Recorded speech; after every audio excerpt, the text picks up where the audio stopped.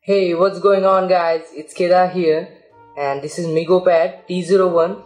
So basically it is small PC which has a dual boot. It has a CPU of Intel Atom Z3735 and it can support dual boot Windows 8.1 as well as Android. It has DDR3 2GB RAM and it has inbuilt 16 GB or 32 GB storage eMMC uh, you can choose the model whatever you want. Then it has extended micro SD slot.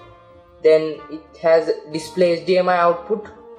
Then it supports Wi-Fi Bluetooth. Then as a power supply you have to use 5 volt 2 ampere power supply that is given with this. And so let's take a look inside this model. So let's go. Yes it says intel inside. So that's gonna be cool. Okay well the moment of the truth. So here we go.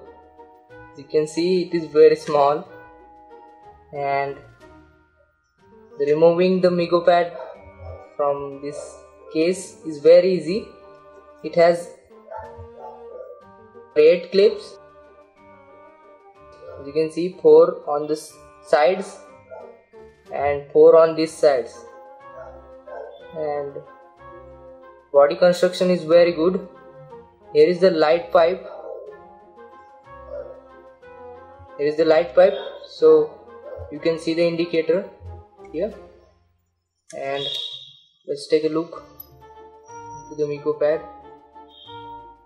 so basically on the back side there is a CPU shielding memory card slot USB OTG and power input. There is the button power button and HDMI output let's take a look on the back side. So before this you have to remove the Wi-Fi antenna connector right here. So let's lift it up. You can see. Just put the board for a second aside.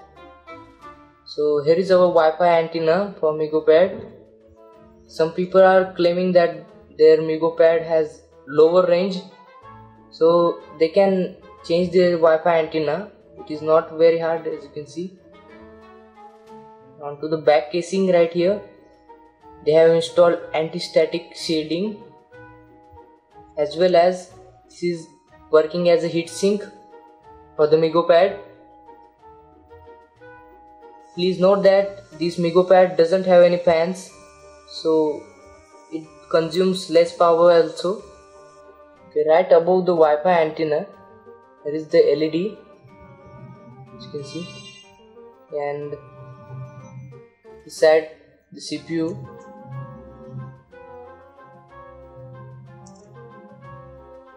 onto the back side they have installed the eMMC and the graphics card right here. There is a CMOS battery.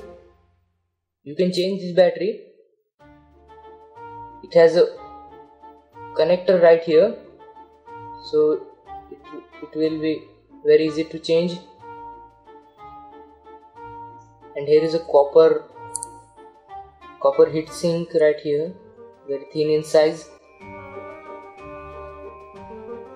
And some components right there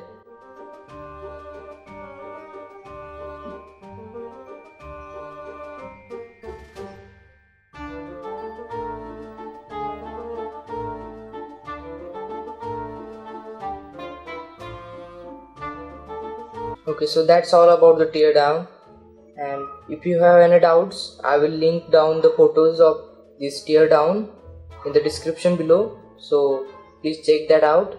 And if you have doubts or any queries about this MeegoPad then feel free to ask in the comments below. And be sure to like this video guys. And goodbye